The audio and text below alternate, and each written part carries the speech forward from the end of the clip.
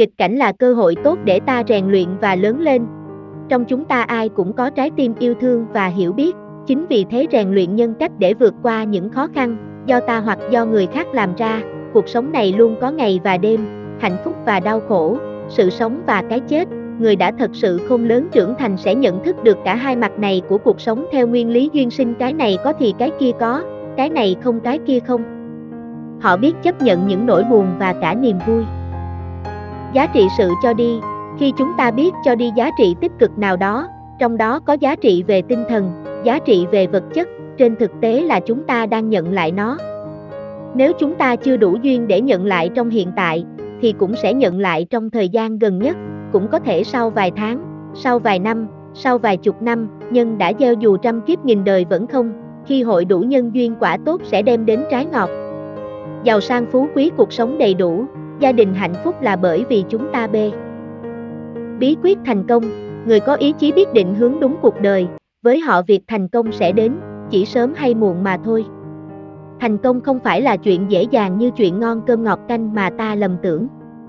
Mọi việc trở nên khó khăn khi bị nhiều người trù dập, khống chế bởi một thế lực phi đạo đức mang tư tưởng chủ nghĩa cá nhân, phát xít độc tài do không tin sâu nhân quả. Mỗi khi thất bại chúng ta đừng thất chí nản lòng, đừng than vãn trách móc tại bị thì là. Và quan trọng hơn nữa là đừng bỏ. Khi tâm từ phát khởi, khi năng lượng từ bi đã được thực tập và hiển lộ, chúng ta sẽ sống bằng trái tim hiểu biết, nhờ vậy ta có khả năng hóa giải được các quan trái và hận thù. Con người muốn phát khởi lòng từ bi, trước tiên phải biết giữ giới không giết hại, không gian tham trộm cướp, không tà dâm, không nói dối hại người và dùng các chất kích thích độc hại.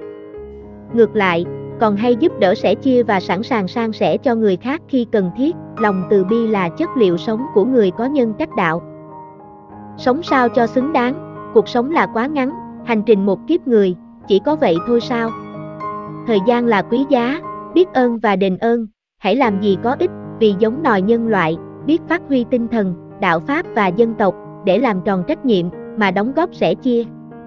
Tiếc thay một kiếp người, không giúp gì cho ai, do hiểu biết sai lầm, mà đánh mất chính mình, trong đau khổ lầm mê. Người trí cùng kẻ ngu, khác nhau chỗ nhận thức, kính dân chúc lòng thành, những gì tốt đẹp nhất, sẽ đến với mọi N. Vì vậy để tăng cường thêm các khí, chiêu tài chiêu quý nhân. Các bạn có thể kết hợp sử dụng vòng tay tam hợp quý nhân luôn đem theo bên mình để đem lại may mắn. Vòng tam hợp gỗ tử đàn được chế tác từ gỗ tử đàn kết hợp với ba linh vật tam hợp địa chi được khắc trên đá mã não đỏ bằng mực vàng thần tài. Các nguyên liệu kết thành vòng tay gỗ tử đàn tam hợp đều là những bảo vật quý trong nhân gian, trong đạo Phật, cũng như trong phong thủy, trong đó.